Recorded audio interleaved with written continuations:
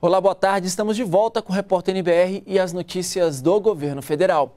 O resultado do programa Universidade para Todos já pode ser consultado na internet ou pelo aplicativo do programa em site proune.mec.br gov.br. Para este segundo semestre, foram oferecidas mais de 40, 147 mil bolsas de estudo integrais e parciais em mais de mil instituições privadas de educação superior em todo o país.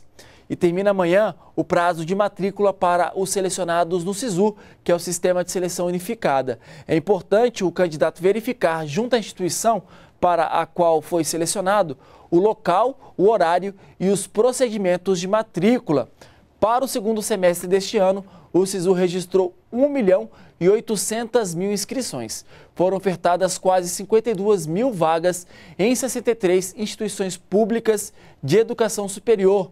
Para todos os detalhes, basta acessar sisu.mec.gov.br. E nós vamos agora ao Palácio Planalto saber os compromissos do presidente Michel Temer para esta segunda-feira. Quem está lá é a Mara Kenup, que tem as informações ao vivo para a gente. Oi, Mara. Oi, Leandro. Olha, é isso mesmo. Mais cedo, aqui no Palácio do Planalto, o presidente Michel Temer se reuniu com os coordenadores do Fórum Brasileiro de Mudanças Climáticas, referente à comemoração do aniversário de 25 anos da Convenção do Clima e da Rio 92. Em seguida, a reunião foi com o ministro das Relações Exteriores, Aloysio Nunes Ferreira. Bom, agora à tarde, Michel Temer vai receber o empresário Liel Miranda, presidente da Souza Cruz. E a noite tem reunião com parlamentares. E uma outra informação, Leandro, é que de hoje até quarta-feira, mais de duas mil agências da Caixa vão abrir duas horas mais cedo para atender os trabalhadores que têm direito a sacar os recursos das contas inativas do FGTS. Esse é o quarto lote liberado pelo programa. O valor disponível é de quase 11 bilhões de reais. Dessa vez tem direito ao saque os trabalhadores nascidos entre setembro e novembro. No sábado, houve atendimento especial a esses trabalhadores e eu acompanhei. Vamos ver como foi. Um sábado de agências lotadas de gente querendo sacar o FGTS de contas inativas.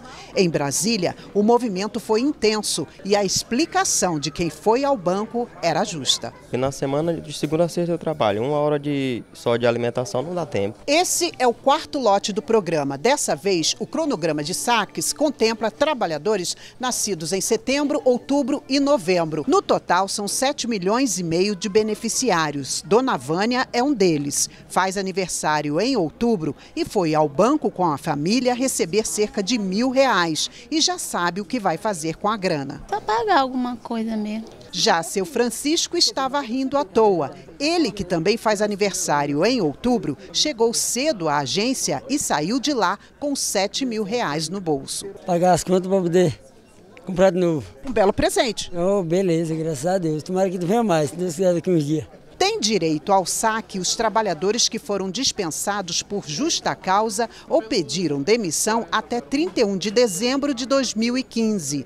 A data de retirada do benefício nessa fase, que tinha previsão de começar em 16 de junho, foi antecipada. Segunda, terça e quarta agora nós vamos abrir com duas horas de antecedência. E o trabalhador pode vir com tranquilidade, porque ele começa hoje essa fase podendo sacar até dia 31 de julho. Mas estamos preparados para recebê-los com a melhor, melhor maneira possível.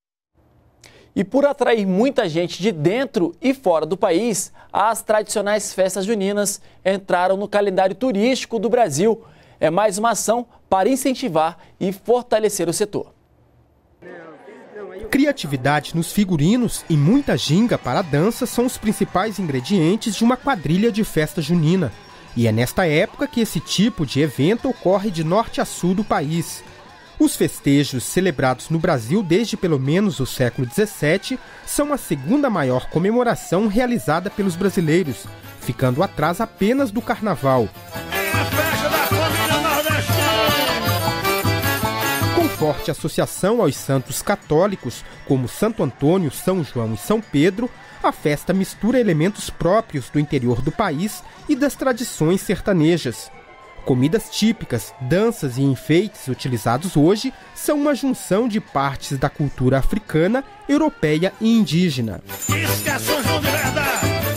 As quadrilhas mantêm viva a memória do folclore e da cultura brasileira, especialmente a nordestina.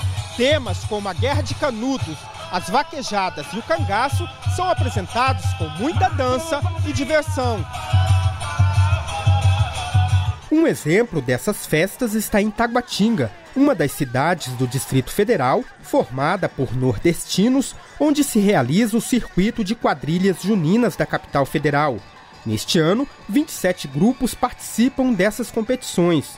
Em muitos casos, são jovens de periferia que encontram nesse tipo de arte uma forma de mudar a realidade. Se eu fosse a quadrilha junina, eu estaria não aqui agora te dando essa entrevista, ou até mesmo fazendo uso de drogas ou esse tipo de coisa. As festas juninas também movimentam a economia das comunidades. Os principais produtos consumidos nos eventos são derivados do milho, como pipoca, canjica, pamonha, bolo de milho e curau. Outros setores também se beneficiam. Eventos como esse, eles fomentam o comércio, fomentam a indústria, fomenta o, o, o, turismo no ponto de vista da hotelaria. Em algumas cidades nordestinas, as festas de São João chegam a reunir um milhão de pessoas, o que prova o potencial desses eventos para atrair visitantes.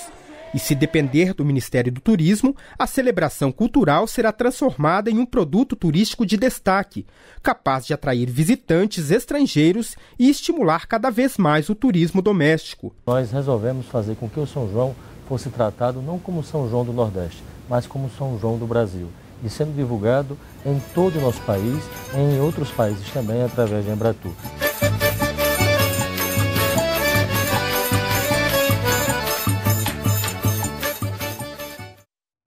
E nós ficamos por aqui, voltamos às três da tarde na nossa próxima edição.